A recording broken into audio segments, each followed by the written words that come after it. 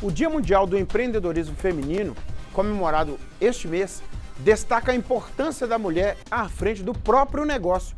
E o Brasil tem uma história. São mais de 10 milhões de empreendedoras. É, balança a reportagem.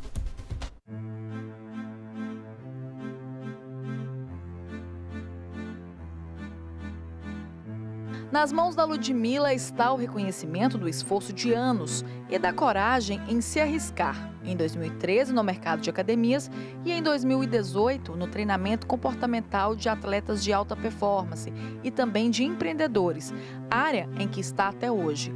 Os troféus foram recebidos no ano passado em Governador Valadares e em Belo Horizonte. A empresária conta que buscou novos olhares e oportunidades em cada desafio, o que deu certo. Ludmilla lidera um grupo com mais de 500 mulheres que se ajudam e buscam novos caminhos dentro do empreendedorismo. Queria poder mostrar a minha ideia para o mundo.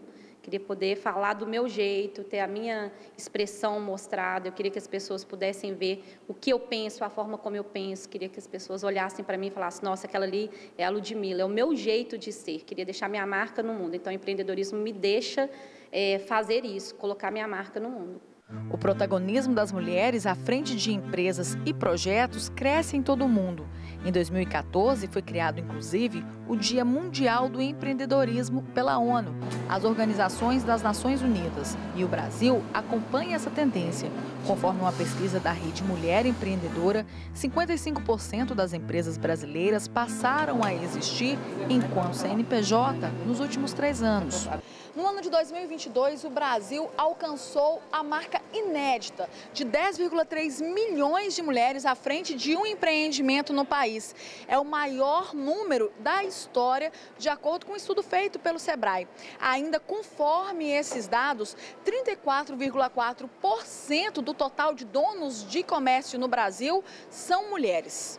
Minha família é toda empreendedora, então eu vivo nesse meio de loja, de shopping, desde muito tempo. Sou paulista, aí depois fui para Belo Horizonte, agora estou aqui em Valadares desde 2015. Eu gosto. Eu vim aqui, fui ser professora, virei coordenadora, montei em 2019 o restaurante japonês. Passamos pela pandemia, que é uma fase difícil para quem é empreendedor. Agora montamos o café ano passado, está completando um ano. E é uma área que eu gosto muito, assim, eu fico muito tranquila em transitar tranquila, é uma loucura todo dia, né? Porque a gente, segunda a segunda, você está trabalhando, a gente não tem folga, mas é, um, é uma atividade que me traz muito prazer, porque cada dia é um desafio novo, cada dia é uma coisa nova e é o mosquitinho que a gente fala do empreendedorismo que cutuca a gente. Para essas empresárias, ser mulher nesse mundo dos negócios pode até ter um grau a mais de dificuldade, mas é aí que se mostra que de sexo frágil a mulherada não tem nada. Eu acho que a questão da mulher é essa questão da casa, né? Que você tem que fazer isso tudo. Eu sempre fui, estudei, fiz pós, mestrado, aquela confusão. E tem a casa, e tem as crianças, e você fica preocupado que uma machucou, que isso. A gente tem, sim, por mais que meu marido seja muito companheiro e a gente divide muitas atividades, mas a mãe é a mãe, né? Quando chora é a mãe. Então eu fico, às vezes, eu me sinto um pouco.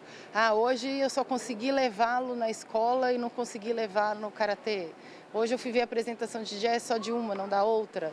Então, essas coisas eu acho que é a parte mais difícil de lidar com essa vida de empreendedora. Toda mulher que está em casa e que fala assim, eu não posso, eu não, não vou fazer, ela pode fazer. O empreendedorismo dá a ela essa ferramenta. Ela pode sair da bolha. Né? Ela pode deixar a marca dela no mundo. Então, eu já estive no seu lugar.